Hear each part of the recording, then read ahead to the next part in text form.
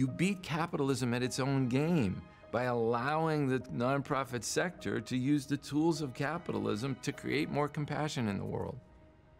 You know, I, I gave a speech in Charlotte, North Carolina, and Charlotte says that they are the community in America with the worst economic mobility.